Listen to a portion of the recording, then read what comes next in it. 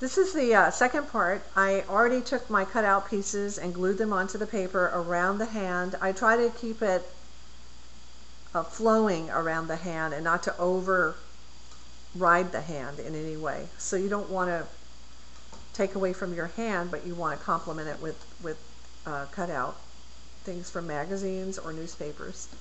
Uh, the first thing I do is I get oil pastels that match what I glued on there. So I have these colors and I'm going to go ahead and start coloring in. I don't have a purple. Is there a purple in there? I'm going to go ahead and put this color down here because I have purple here. So I want to bring it down here. I don't want to have just one color. I want to keep all the color flowing. So I'm going to put a purple here color solid.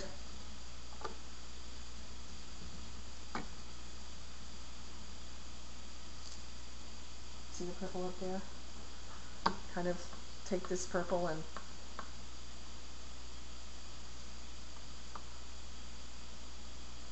So what I'm going to do is use the colors that I have on the paper and blend with my oil pastels colors similar to those for example, I'm, I'm going with this. Can you see that okay? Is that better? This green fish. I'll extend it out. I even color over part of the uh, cutout. I don't have a blue.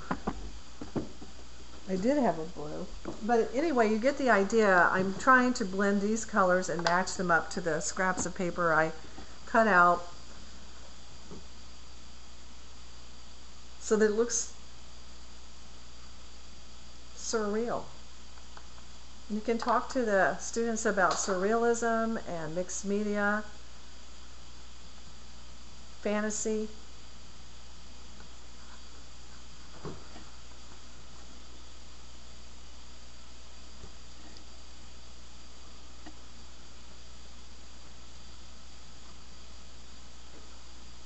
So I'll, try to put in colors everywhere.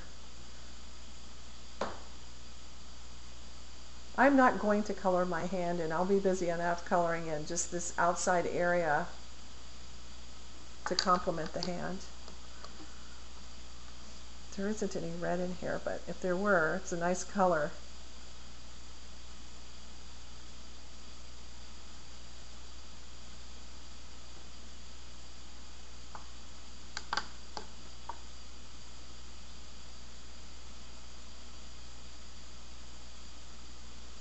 So you can color right over those papers.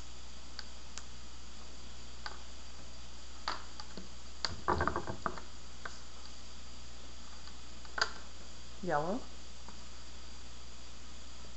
So the students will be coloring everything solid around the hand with over the collage and around the collage. They don't have to color completely over the collage, but just to blend in the edges. Just to blend in those edges right here. And at the end, you, they'll have a finished product like this. I got these from Old National Geographics, and I like having a bright color with a black and white hand. It's nice to accent the hand. And this is in your notebook. So that's it for the handscape.